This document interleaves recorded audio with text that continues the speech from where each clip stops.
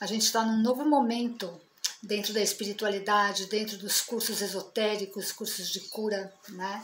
Muito, muitas décadas já se passaram e a gente está entendendo que não adianta ficar só venerando lá em cima alguma força, né? E sim trazer essa força para nossa consciência, para nossa atitude concreta.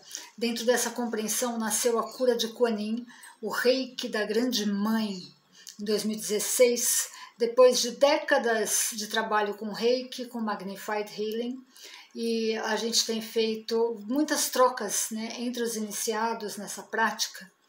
É, tem sido muito rico. Nessa iniciação, nós temos as nossas palmas das mãos né, iniciadas, e após isso, a gente vai começar a entender a importância de autotratar-se, né? Então temos o autotratamento, o tratamento no outro, tudo isso eu ensino no curso.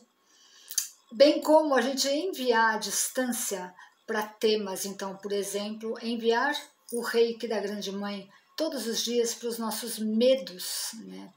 É como se fosse a construção de uma estrutura interna e também a demolição de uma velha estrutura baseada no trauma. Né? Nós temos dois módulos, né? no módulo 1 um, a gente é, faz isso que eu já falei, né? autotratamento, tratamento do outro, envio à distância.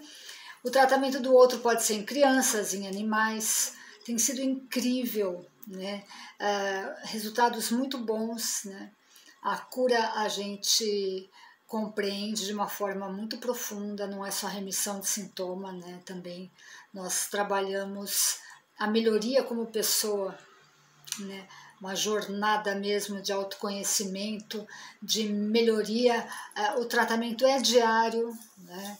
A neurociência já comprovou né, a importância da gente traçar um caminho cerebral, né, entender todos os dias, quando a gente repete, né, a importância da repetição, da, da construção do bem, tá bom?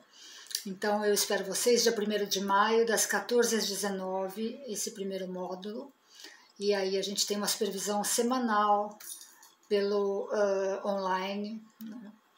Então as inscrições estão no WhatsApp e é, são pelo WhatsApp e as informações estão aqui depois do vídeo. Um grande abraço.